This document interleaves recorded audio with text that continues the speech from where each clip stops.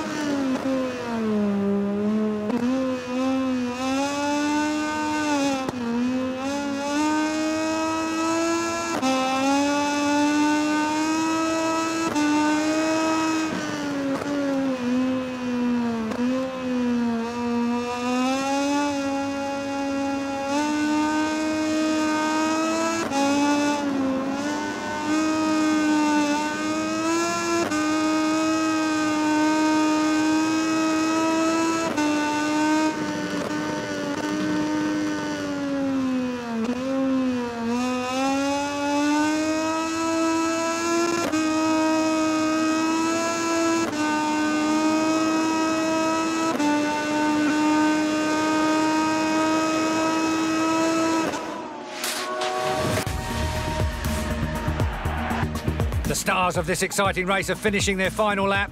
Let's take advantage of these moments to take a look at the Moto2 final ranking. This victory is the cherry on top of an exhausting weekend. If his team keeps working like this, it will be really difficult for his opponents to overtake him.